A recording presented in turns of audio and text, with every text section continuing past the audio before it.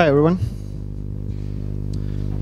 So, uh, today we're going to talk a bit about uh, Kubernetes and uh, GitOps with Flux, and we're going to talk about Chaos Mesh, a way to, to bring chaos into your Kubernetes. Uh, so, uh, this is Luka, Luka Matijević, I'm Miodrag Prelec. We're from a company called uh, Nimium. We are Red Hat premier business partner.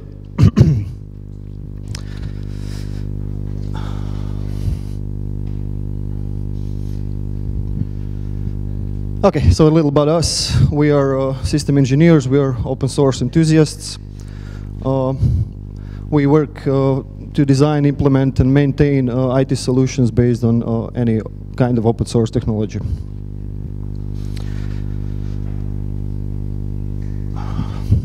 A bit about uh, Nimium. Nimium is the oldest Red Hat Premier partner in Croatia for almost 20 years now. We became the first Croatian uh, Red Hat Premier Business Partner uh, and have, have been awarded uh, the Red Hat Most Certified Partner in the region. Among other things, we are uh, specialized in cloud technologies and uh, various Kubernetes distributions. So let's talk about Kubernetes a bit. We're going to do some uh, intro on Kubernetes then we're gonna switch to, to, to see how we can uh, keep the state of Kubernetes uh, using, using Flux. Okay, so basically, um, when, when Docker started being popular around uh, 2013, uh, around it uh, a lot of uh, different technologies begin to arise and the need for some kind of orchestrator for, for containers was needed. So basically, um, there are a lot of uh, pillars that grew up uh, to, to, to support this, and um, this is kind of done, uh, an XS or anything as a service uh, uh, principle. So we have like four pillars here. Uh, we have on-premise, we have infrastructure as a service, we have platform as a service and software as a service, and you can see uh, the differences between between the two. Kubernetes goes somewhere uh, in the platform as a service. So basically on-premise you can have uh, your own cloud, you can have uh, a combination of uh, your own cloud and public cloud, uh, also called hybrid cloud. So basically you can see uh, if you have it on-premise, you will bas basically uh, do everything yourself. You will, you will have to have a team of system engineers to, to support that. infrastructure as a service is one, one of the infrastructure as a service is OpenStack. So basically you will have a vendor will manage the virtualization, server, storage, and networking. The rest is on you.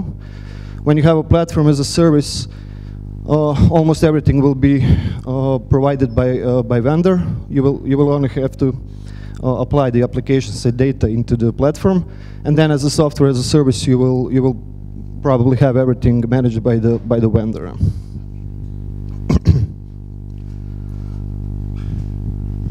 Okay, so uh, a little overview about uh, Kubernetes. So uh, basically it's a container orchestrator. Uh, it's a kind of a continuous loop that matches the state that we define uh, for uh, for the for the for Kubernetes, and it's used to automate, deploy, scale, and manage any any containerized applications in there. So uh, it supports automated uh, rollouts, rollbacks. We have some kind of service discovery and load balancing to support the services. We have storage orchestration, secret and configuration management, horizontal scaling, self-healing, extensible. So pretty much it's a platform that, that allows you to extend uh, your services in, in any way uh, possible. And it's de facto standard for, for, uh, for orchestrating uh, any container or, or containerized applications.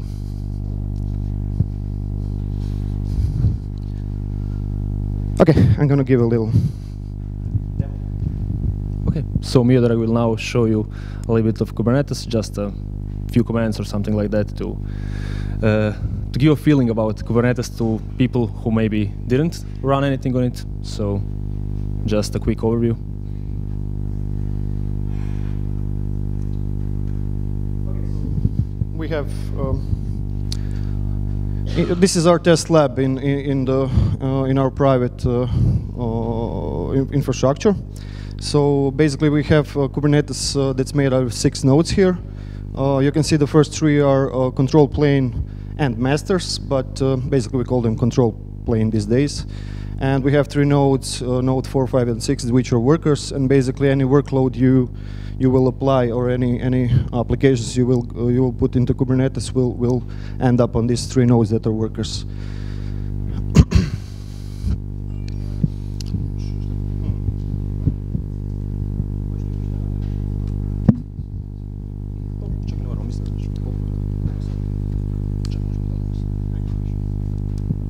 Okay, so uh, we thought that we will have a little bit more time to show another things, but uh, I think we will switch to uh, GitOps and then to Chaos Mesh, so maybe we'll have a little more time to show a demo about real things.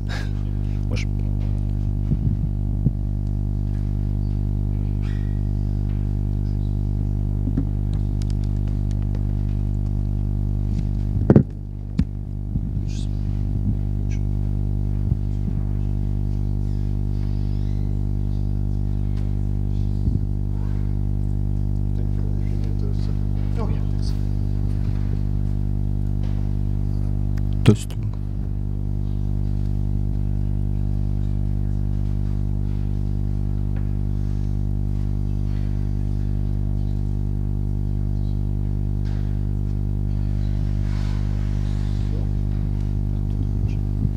Okay.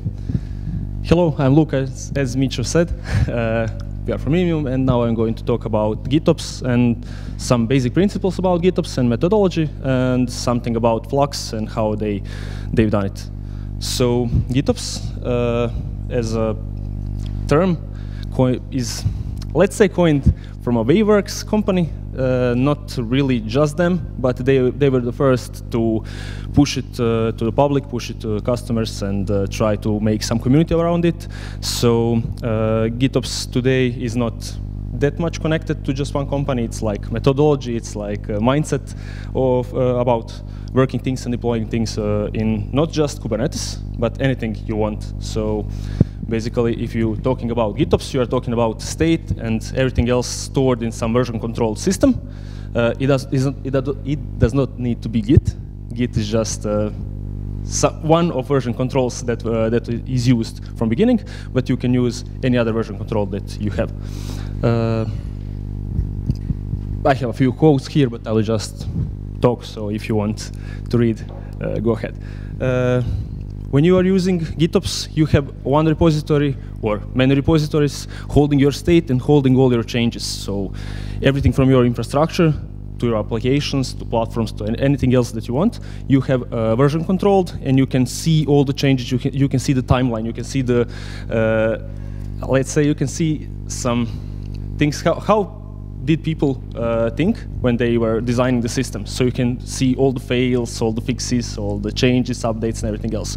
And uh, other, ways, uh, other ways that we were doing that before, uh, it was documented, of course. You were documenting everything, doing it by the hand, doing it with some automatization or anything else, but you do not have uh, you, you don't have full history uh, of things that, you done, that you've done, and this way you can have also the full history of things that you have you have done from infrastructure level whole uh, whole way back to the whole way up to the application level.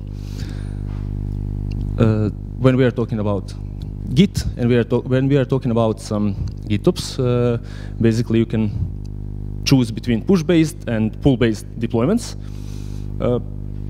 The, the birds are saying, saying everything. So when you are using push-based deployments, some system that, uh, that automates your stuff is pushing the changes to your cluster. And when it push, pushes the changes to your cluster, it needs to have uh, some, some kind of account, uh, some robots apply, apply to that account, credentials, or anything else that you're using. So you are just giving control of part of your cluster, or all of your cluster, to some external service with your credentials. So it's not really a good idea, not not really bad idea, but I think better way is pull-based when uh, the situation uh, when when you are in a situation that you can choose between them. Uh, I would use uh, pull-based because pull-based is more secure because uh, Flux, for example, is pull-based by default, and you have uh, deploy Flux in your cluster, and your cluster from the inside is pulling the changes from the Git and applying it inside the cluster. So everything about your cluster is still inside the cluster, and no one else uh, needs to know secrets about your cluster. No one else needs to have uh, permissions to change your cluster or anything else. So you are protecting yourself from outside of your cluster, and it should be, and mostly it is more secure. Uh, this schematics is uh, trying to explain some things about uh, how, how it works. Uh, if we had, this is uh, pull-based, if we had push-based, we would not have the environment like one uh, kind, we would have environment repository that is pushing the changes to your deployments, to your configuration, and then deployment is changing your environment. So you are really changing your environment from the outside. And uh, this way, when you have pull-based, you are changing your environment from inside, from the operator, from the system itself. Uh, and now we can talk a little bit about Flux. Flux is uh, one of most popular uh, CD solutions or GitOps solutions. Uh, another one that is really popular is Argo CD, if you have heard about Argo CD. And when the Flux was uh, version 1, uh, they had some concepts about GitOps, and then they were that there were Argo CD, and two companies, two, two teams reached some agreement to make Flux v2. And Flux v2 was planned to be combination of Argo CD and Flux on some standards that will later be called uh, GitOps tools, the GitOps toolkits. And they started to work on it. It really didn't go uh, in a good direction. So Argo CD continued to work on, on their own uh, tools, and Flux uh, continued to work on Flux v2. That's really separated, and Flux right now, if you have, if every, anybody had used Flux before, Flux right now is not like whole solution doing just that. Flux is built on top of GitOps toolkit, that's also from the same company. So Flux is just some biased way of doing GitOps. But if you want to do GitOps on your way, if you want to, to deeply integrate GitOps in your uh, procedures, in your systems, in your current current systems, you can use a toolkit from Flux, and you can, let's say, implement everything you want, or just extend Flux. Uh, it's built from ground up to uh, use Kubernetes API extension system. Uh, in the beginning, it, it, was not like that. It was like a lot of hacks to do this. But right now, uh, Kubernetes grew to uh, to add new APIs, and that APIs could can be used to change some things how uh, Flux can work with cluster. For example, server-side apply. Server-side apply came in I don't know, 1.20 something version around, and server-side apply changed a lot of things when you are talking about GitOps and uh, when you are talking about deploying things and changing things about in your cluster, because right now you don't need to uh, run anything specific, like you don't need to run kubectl inside your Kubernetes, inside your container to change something in that container, it, uh, in that cluster. It's, it was really, uh, it sounds like a good idea, until you come to problems. So it's not really good idea to do that like that, uh, to do it like that. Uh, for example, you need to update kubectl, you need to uh, use some tricks or some hacks to do some things. And when you have a server-side apply, extensions API, and everything else, you can do it from the cluster using cl cluster API, and it just works, and it's meant to, uh, meant to be used like that. And now the Flux, uh, Flux CD is one of their products, and the whole Flux organization has a, have a few other products. Uh, base, base things about uh, base products are um, called uh, GitOps Toolkit, and uh, there you have a lot of tools that you can use to build it. Then Flux, that's built on top of uh, GitOps toolkits. And then you have Flagger. Flagger is another tool uh, from Flux that's used for, for progressive deployments. You can uh, you can deploy canary releases or A-B testing releases or something like that automatically, and Flagger integrates with your current service mesh, API, uh, API gateways, and uh, uh, stuff like that. It has integrations for almost all popular solutions right now. So you can just push it in, connect it to Flux, connect it to your service mesh, to your API gateways, and automatically get canary releases. You can run tests on it. You can uh, signal Flux and Flagger to uh, switch or to drop off the new release or whatever. So you can integrate Flux to do uh, everything from almost CI to CD and beyond that, but mostly people are using Flux in uh, combination with, for example, Jenkins, if you are using it right now, or Tekton, or anything else. So you can combine it. You can use just parts of it. You can uh, use parts of Flux that you want to. For example, just uh, using um, customized controller and Helm controller, so you can deploy your Helm charts uh, in an auto automated way just by changing your Git. Uh, if you look at this picture, you have some sources and customizations that are uh, going into Kubernetes API, Kubernetes API, uh, uh, Kubernetes main API, and then you have source controller. Source controller is part of Flux, and source controller is used to uh, communicate with uh, different sources. For example, SVN, uh, Mercury, Git, GitLab, GitHub uh, integration, and so on. And then you have customized and Helm controllers that are using that source controller to pull things that they need and then change things inside the cluster. So basically, Flux is just built on top of uh, current technologies that are used in Kubernetes. It's not in, uh, reinventing the wheel.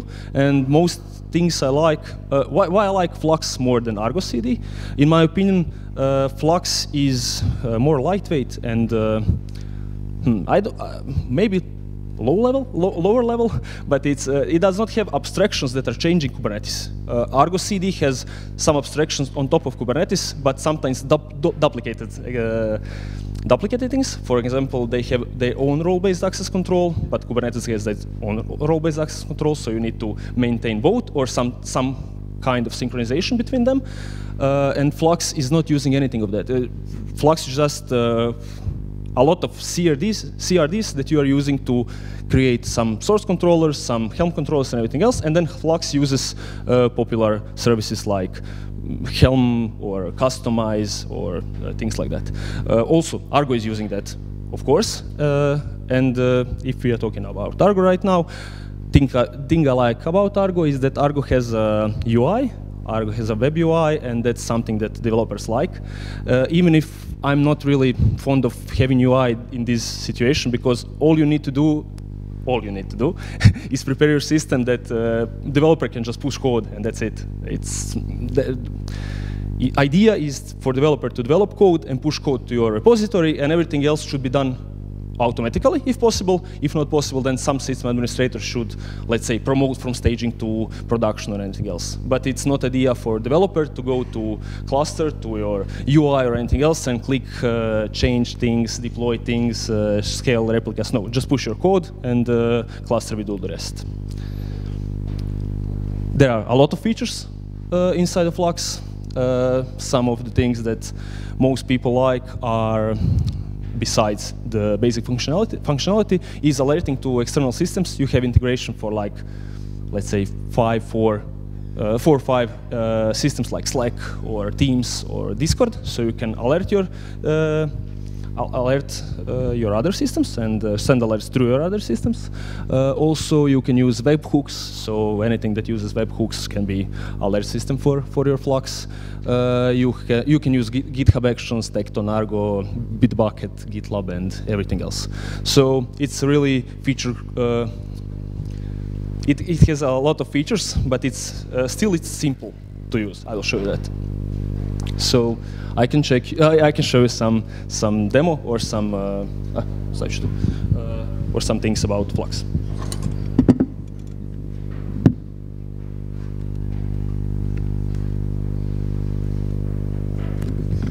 I have notes so I don't uh, forget something because oh, oh my god. Uh, so I will switch to my notes. It's no secret. Like I don't want to forget something in these few minutes hear me without microphone, so I will just continue talking. Uh, first thing you need to do is install uh, Flux CLI. Flux CLI can be installed like pipe some uh, pipe some URL to Bash. I don't really like that, but you can just download some release from uh, GitHub and put, the binary somewhere. It's cool binary, so you don't need to install anything. Just put it in your path and it will work. When you have Flux, uh, like every other command that's popular today and every other system that's popular CLI tools have a bash completion. So you can use bash completion uh, to complete it like kubectl or anything else. So you can just go flux completion, so what, what's your shell and pipe it to your, uh, redirect it to your file or an appropriate location. when you have that done, you can use Flux to, you can use Flux CLI, sit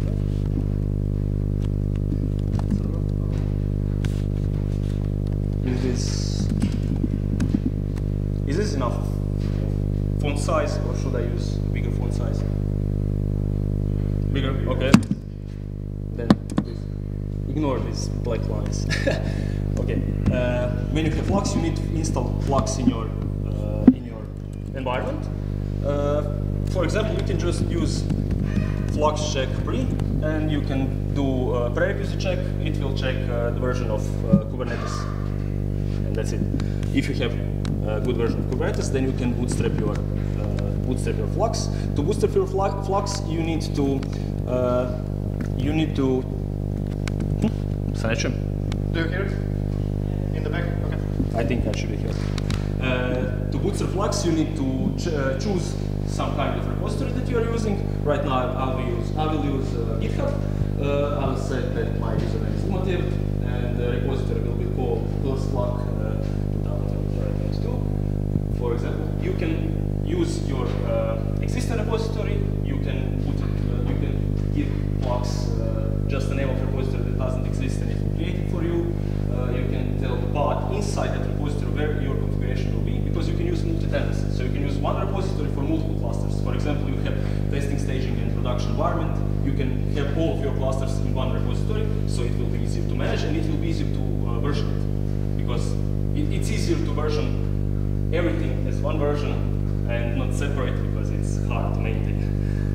and if you uh, if you put personal at the end, you're just telling uh, Flux to create a personal project, not an organization version. By default, it will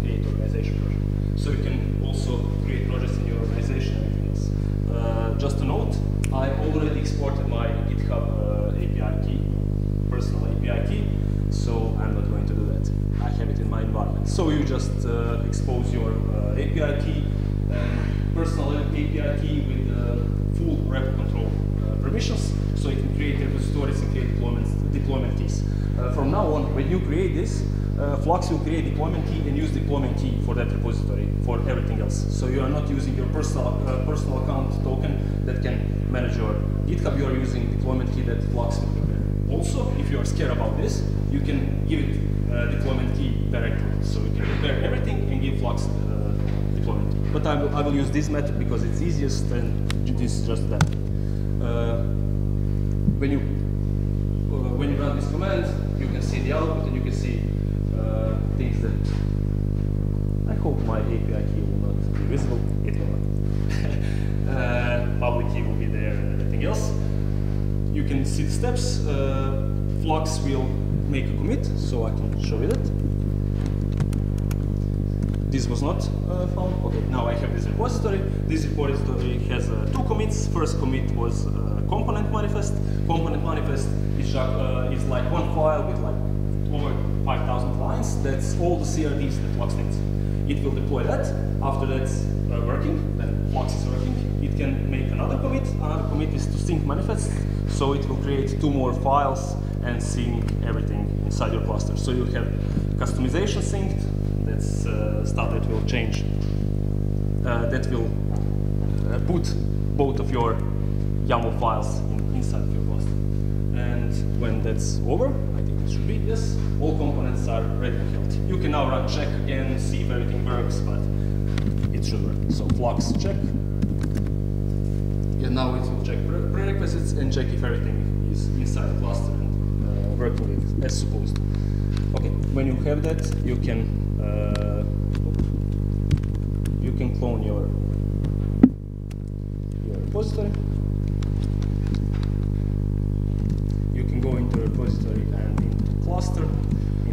Cluster, and inside them cluster you have that Flux system. So now we can create anything we want inside this repository, and Flux will look for the changes because when we were initializing Flux, we were we, we told that clusters demo is the root of our cluster of our project.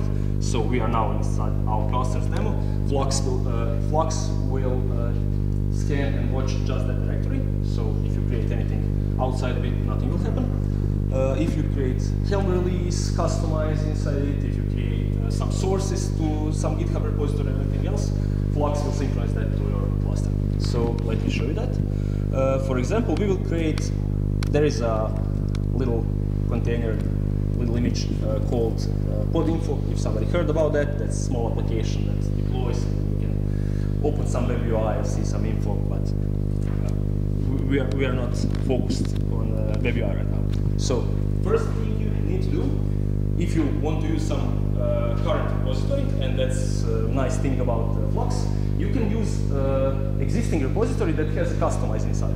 So if you if some repository has a prepared kustomize for it, so you can deploy it uh, using kustomize, you can just tell uh, Flux to create some coding for uh, Git source that's pointing to that uh, repository, master branch, uh, do reconciliation every 30 seconds, and export it as a YAML so I can show you and create a file that will be uh, that we will be committing to our repository. Okay. When we create it, we will you can create it by hand, of course, but it's easier to do uh, do it by CLI. So when you create that, you have some uh, Git repository kind that's CRD from Flux.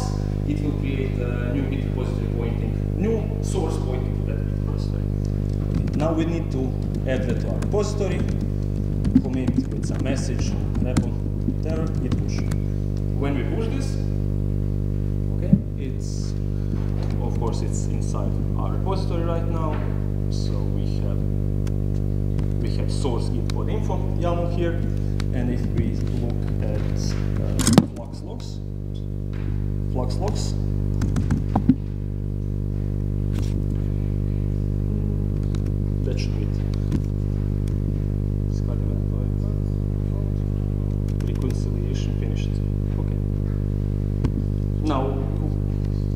That, but uh, it's, it's more obvious when you deploy something and not add the source. So we can use flux, get sources, uh, git, and we can see our uh, flux system source. Flux system source is our main source, that's our repository, and we see pod info source. That's a source where Flux can pull some code or something like that. And now most, most people ask the next, next question, okay, I can deploy that thing from somebody's repository, but I don't like their uh, manifests. I don't want that port, I don't want that number of replicas, I don't want anything. And if you are thinking about that, yes, it's not really easy to change it like that, to pull something and change things inside of it. But you can, uh, you can use in-place patches from Flux, so Flux can in-place patch repository that's not your own. So it will pull code from the repository, uh, take customizations, make in-place pages other people's repositories or other people's manifests before deploying. But let's get on with uh, with deploying that pod info. Okay, uh, now we can create a new customization and we can say that target namespace is pod info, source is pod info, path is customized, uh, you need prune. Prune will just enable garbage collection. So if you are enabling prune, you are enabling garbage collection. Are, uh, again, 30 seconds. We will mostly use bigger intervals, uh, especially for sources. But uh, for, this, for this demo, I, am using short intervals so fast see, uh, fast see some reconciliation uh, things. So when we have this, we can, again, just add it to our repository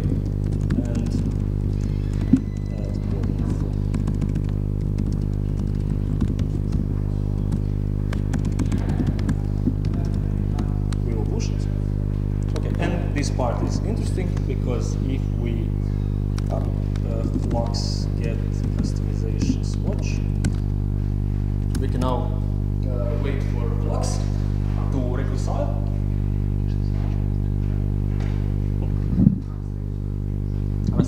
Okay, we can wait for Flux to reconcile, and when the Flux reconciles, uh, we will see some some things being done here.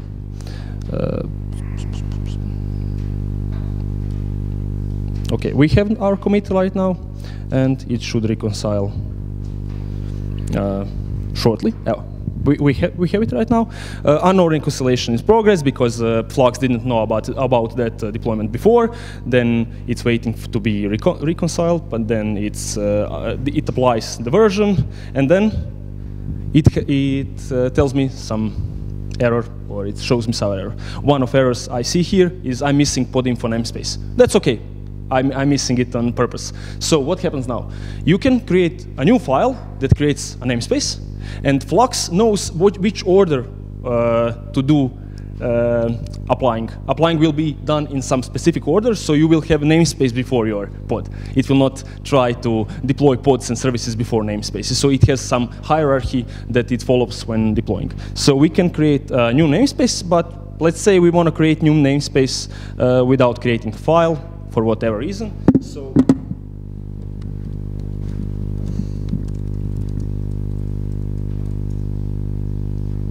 So we created pod info namespace, and now in few moments, maybe again, okay, we got it. Uh, so when we created pod info namespace, uh, on the next uh, re reconciliation interval, Flux, so okay, I don't have that deployment deployed. I need to deploy it. I cannot deploy it. I'll, I'll need to try again. It tried again and deployed it. So we now have uh, our pod info deployment. So we can check it.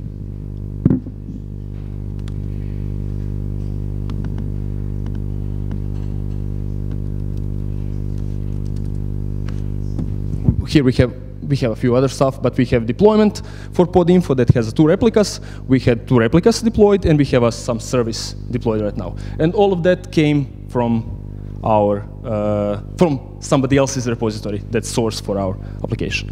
Uh, okay, when we have that, I will not show you because we don't have that much time.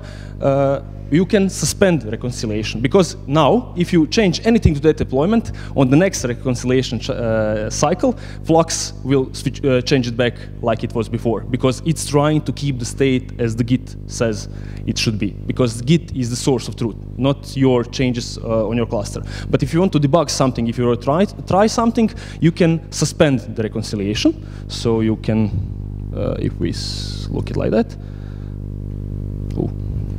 some kind of slow, but we have here suspended false.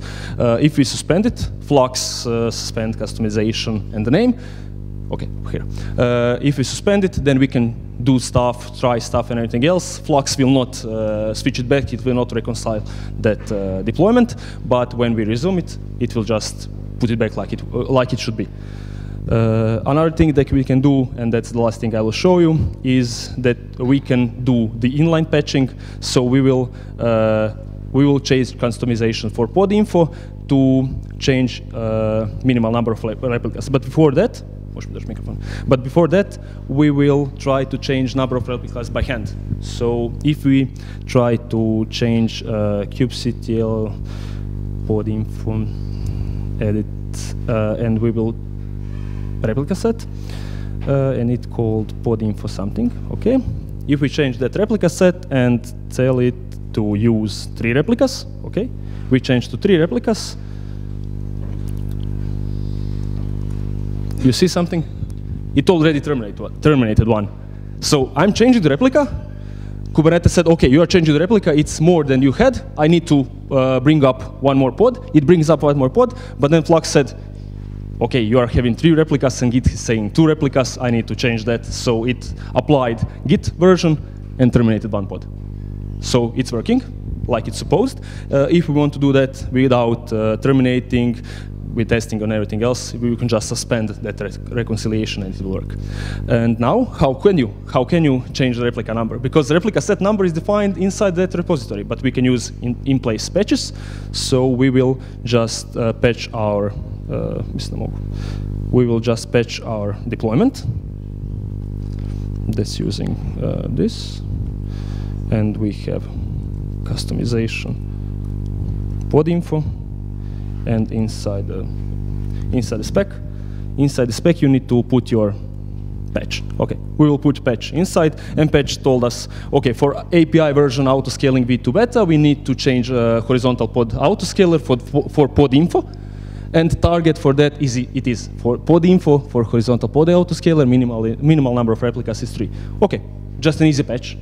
So if we save that, if we commit that, git add top, git commit replicas, git push, uh, we can get pods. Okay, let's see what will happen now. We have a commit, Flux will see a new commit uh, when it checks, and then it should change our replica set to three, uh, to three replicas, and the cluster should deploy third replica of our pod info. And if that works, basically, almost all the basic stuff around Flux is just this. And I think it's really easy. Maybe it's a little bit hard to uh, learn CLI commands uh, and use it without some kind of cheat sheet or documentation. But after you try it a few times, it's not that hard. It's, it's really uh, straightforward. I don't think we uh, committed. No, it will. It will change it. We have a new commit around a minute ago, and it should reconcile uh, any moment now.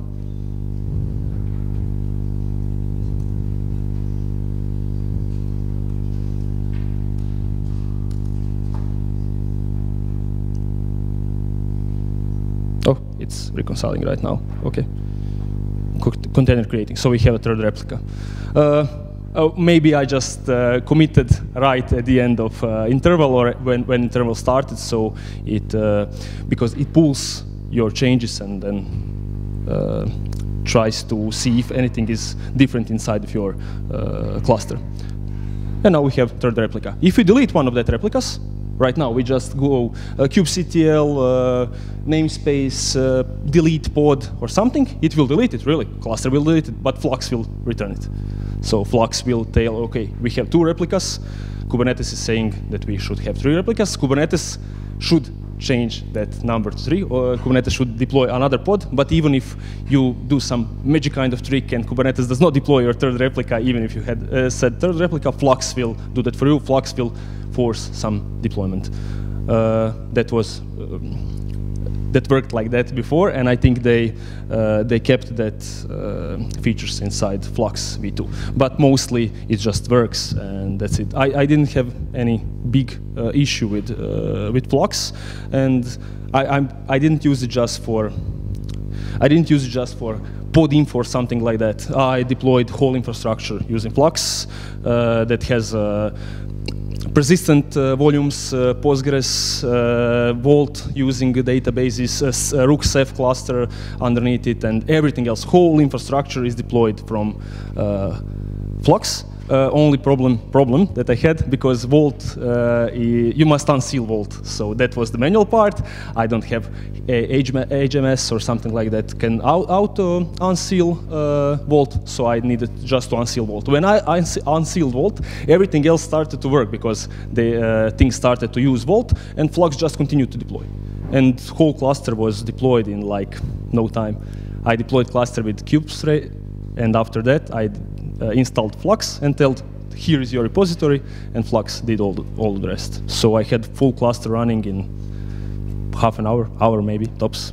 And I can delete it, whole cluster, deploy a new one, connect to Flux, and it will redeploy everything like it was before. I don't have a state, of course, because I don't have a state. I just have a representation of my system, but I will have everything inside of it uh, just like before. Uh, all configurations are the same, secrets are the same, and everything else. And since we are since I, uh, I mentioned secrets, uh, you can also use some kind of templating that can point uh, Flux where to find secret inside the vault. So Kustomize can do that also. Uh, Helm has some kind of support for that, but Flux can do that. So you can write your templates, uh, and inside you write some stuff about uh, where to find it in the vault. So you can push your secrets to your repository. You are not really pushing your secrets, you are just really pushing some path to the vault. So you don't need to worry about uh, keeping secrets somewhere, then uh, synchronizing your cluster and inputting your secrets by hand. No, you can do it all, all automatically. And okay, we will do this later because we have uh, another presentation. So if you agree, we can do uh, uh, questions and answers at the end of the session for both uh, of our talks, if you are okay with that. Okay.